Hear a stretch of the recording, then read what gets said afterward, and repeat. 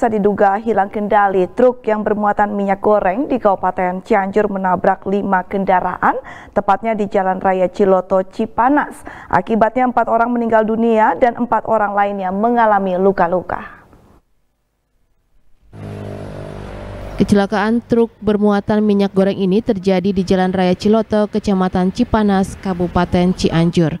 Truk bermuatan minyak goreng ini oleng saat melintas dari arah Bogor menuju Cianjur, namun saat berada di Jalan Raya Ciloto tepatnya di Kampung Bondol, Desa Ciloto, Kecamatan Cipanas, dengan kondisi jalan menurun dan menikung.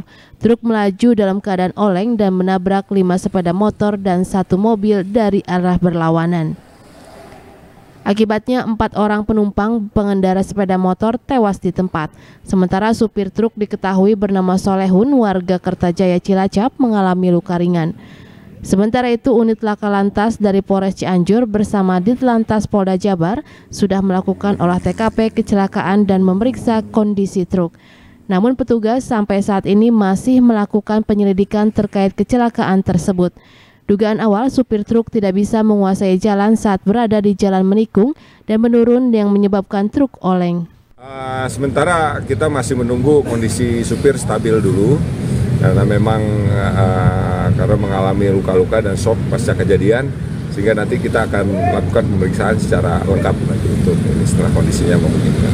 Untuk kronologis kejadian kronologis ya dan kalau kronologis kejadian ya memang kendaraan ini uh, melintasi turunan yang cukup panjang, uh, kehilangan kendali. Uh, nanti untuk penyebab kehilangan kendali ini juga nanti sedang kita selidiki, sehingga menabrak uh, dua empat, empat kendaraan bermotor roda dua dan satu Avanza. Saat ini keempat korban tewas masih berada di kamar jenazah Rumah Sakit Umum Cimacan, sedangkan empat orang lainnya yang mengalami luka ringan dan berat masih dalam perawatan medis di RSUD Cimacan. Heri Setiawan, Bandung TV